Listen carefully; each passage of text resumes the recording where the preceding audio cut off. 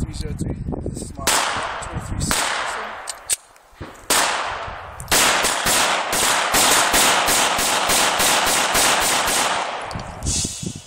Not bad for rapid fire, right?